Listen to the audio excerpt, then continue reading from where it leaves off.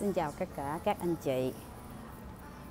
Hôm nay thì Nga sẽ dẫn tiếp tục cái bài hôm trước hôm nãy Nga có nói là ở phần trước á, thì là Nga nói về bảo hiểm thất nghiệp. Vì cái cách thức và địa chỉ mình sẽ lại làm bảo hiểm thất nghiệp đâu. Do cái tình hình hiện giờ đầu năm thường thường thông thường Nga thấy là mỗi hàng năm cứ đến đầu năm là tỷ lệ mà người ta xin thôi việc rất là nhiều và người ta sẽ sẽ tìm đến bảo hiểm thất nghiệp tại vì cái khoản tiền đó là khoản tiền của mình đóng và khoản tiền mình được quyền hưởng.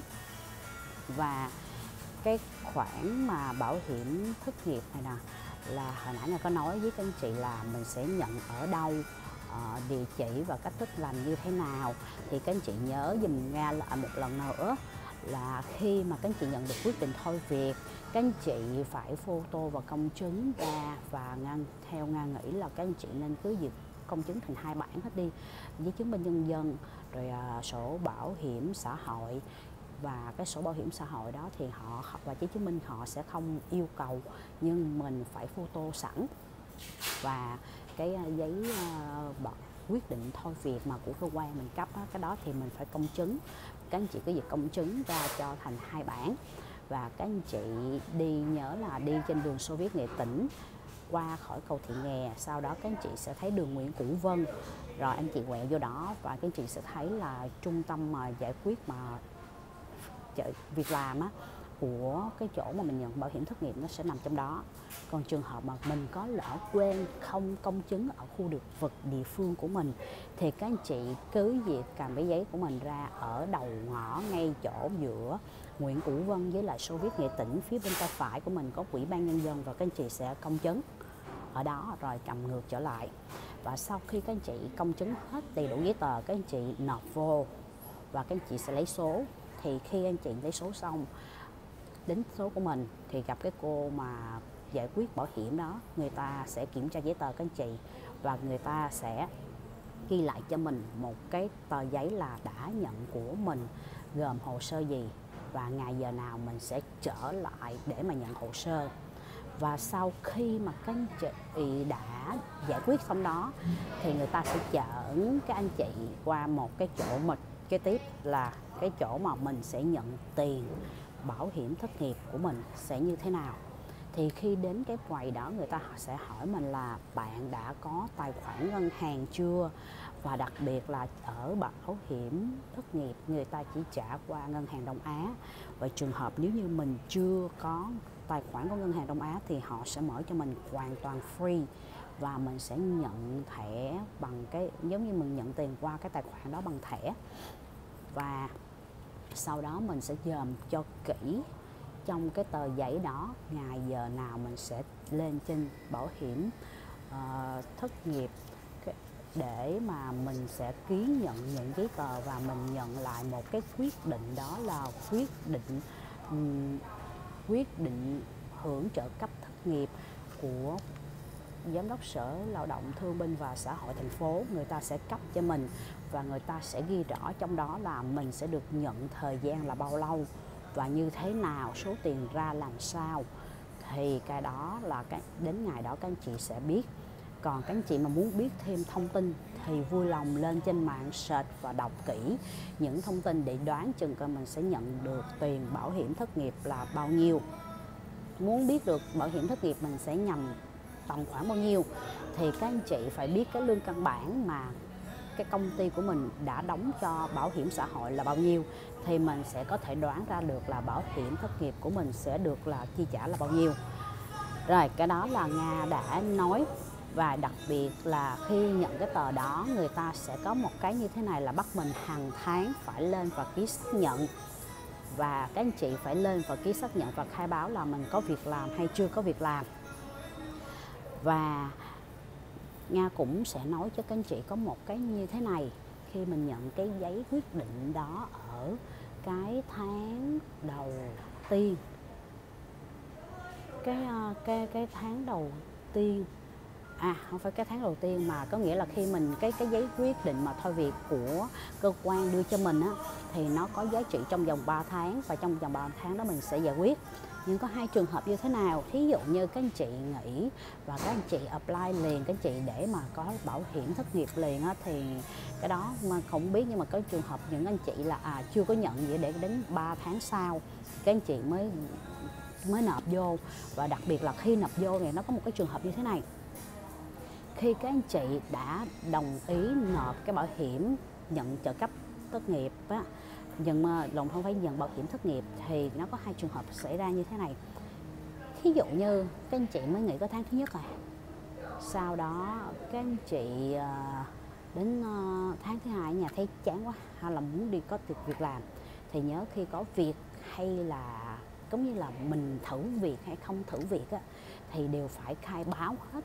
Và đặc biệt là có thử việc thì mình cũng lên trên chảnh là mình ghi là tôi đã thử việc ở đâu đâu đó. Họ chỉ cho mình ngưng không được nhận trợ cấp thất nghiệp khi mình có hợp đồng chính thức. Còn trường hợp mà thử việc á, thì mình cũng báo họ sẽ tính sao cái cách tính của họ họ sẽ báo cho mình. Nhưng mà mình chỉ nhớ là mình phải là coi kỹ rõ nha và hỏi kỹ rõ. Tóm lại là các anh chị cứ hỏi rõ ở tại đó người ta sẽ giải thích cho các anh chị. Tại hôm kỳ nga mới hỏi và nga đi với bạn nga. Nga mới hỏi là vậy trường hợp như thế uh, mình thí dụ như bây giờ uh, em nghỉ việc xong giờ em chán quá em muốn đi làm lại thì em đi làm lại thì cái khi mà trong thời gian thử việc á mình cũng báo cho họ. Còn mà tất nhiên là khi báo thì họ sẽ chưa có trả chỉ trả cho mình cái gì đó, họ sẽ có cách tính họ. Nhưng khi mà mình có một cái hợp đồng chính thức từ cái cơ quan mới thì cầm cái hợp đồng đó lợi thì người ta sẽ stop lại cái việc cung, trả tiền bảo hiểm thất nghiệp cho mình.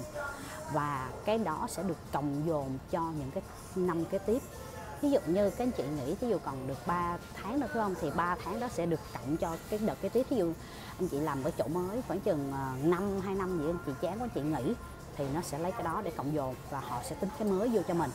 Cái đó là cái cách tính của bên bảo hiểm thất nghiệp. Và mọi cái các anh chị thắc mắc các anh chị cứ việc hỏi tại vì họ sẽ giải thích rất kỹ cho mình. Và đặc biệt nhớ, dùm nga một điều là khi mình nhận cái tờ quyết định trong đó là ngày giờ nào đến, lên ký tên xác nhận, thì các anh chị phải đi đúng ngày giờ, đúng nha, không được trễ. Thí dụ như người ta cho mình chỉ trong 3 ngày, thì trong 3 ngày đó mình phải các bạn không được qua ngày thứ tư. Khi qua ngày thứ tư là cái cái cái đó nó sẽ hủy hết và mình sẽ không được nhận được bảo hiểm thất nghiệp của tháng đó không phải của tháng đó nữa mà nghe, nghe nhớ là họ họ nói là họ sẽ hủy chứ không phải không nhận bảo hiểm của tháng đó.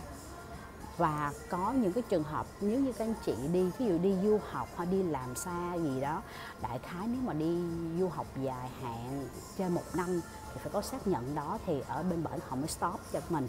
Chứ không thôi là mình sẽ phải bị mất và mất thì rất là uổng do đó là mình phải cân nhắc kỹ lưỡng khi mình quyết định là nhận bảo hiểm thất nghiệp hay không. An à, mới nhớ rồi. Có nghĩa là nếu mình nộp luôn thì mình nhận luôn cho đến hết. Còn trường hợp mà các anh chị ví dụ như đã có cái quyết định thôi việc rồi mà các anh chị không nộp quá thời hạn 3 tháng thì họ coi như là mình không nhận thôi. Chứ mình không có bị mất cái khoản nhận bảo hiểm thôi việc của mình bảo hiểm thất nghiệp của mình. Thí dụ như các anh chị làm 10 năm đi ví dụ như 10 năm. Thì các anh chị 10 à, năm thì một năm tương đương với một tháng. Ví dụ như các anh chị nhận được 10 tháng đi nhưng mà các anh chị à, để lố ví dụ như là hôm nay là tháng 2 tháng 2 tháng 3 tháng 4 tháng 2 2 3 4 ha hết tháng 4 đến đến lố qua thí dụ tháng 5 thì cái như có cái quyết định đó của các anh chị coi như là mất hiệu lực. Nhưng có nghĩa là anh chị không được đem đi nộp nhận bảo hiểm thất nghiệp thôi, nhưng cái khoản tiền của mình vẫn còn. Có nghĩa là mình vẫn được hưởng, nhưng mà lúc đó thì các anh chị cứ việc tìm việc làm mới. Thì việc làm mới thì mình sẽ qua chỗ mới, và khi mà mình nghĩ làm ở chỗ mới thì cái chỗ mới người ta mới có cái giấy quyết định, thì lúc đó các anh chị apply vô thì các anh chị được nhận chuỗi tiếp tục thôi. Đó, thì tóm lại là các anh chị cứ việc là tìm hiểu kỹ ở trên mạng nhớ về địa chỉ. Còn muốn gì thì các anh chị cứ việc chạy trực tiếp thẳng đến đó, sẽ có người giải thích cho mình kỹ. Còn ở ngoài ủy ban, thật sự ra là họ cũng không có nắm rõ kỹ những cái việc đó. Và còn một việc nữa, rất rất rất rất quan trọng đối mình, đối với người thất nghiệp của mình là bảo hiểm xã hội và bảo hiểm y tế. Thì hai mục này nha sẽ nối tiếp tục với các anh chị ở cái những cái tập kế tiếp. Và Nga cảm ơn các anh chị đã theo dõi. Và các anh chị có thắc mắc gì có thể các anh chị sẽ hỏi Nga Nga có biết thì Nga sẽ chia sẻ, còn không biết thì các anh chị Nga có một lời khuyên chân tình là cứ việc chạy thẳng lên trên kia để mà gặp trực tiếp mà hỏi, thì họ sẽ giải thích rõ về gì, họ nắm luật. Còn mình thì là mình chỉ là trải nghiệm qua, mình hiểu cái gì thì mình sẽ nói cho các anh chị đó. Và nga sẽ chia sẻ cho các anh chị tiếp tục hai phần đó là bảo hiểm xã hội và một cái nữa là những cái gì mà mình sẽ được thêm ở sau cái việc mà bảo hiểm ờ, thất nghiệp này. Các anh chị có thể đăng ký hoặc là comment hay hoặc là bất cứ cái gì. Chân thành cảm ơn. Xin chào tất cả các anh chị và các bạn.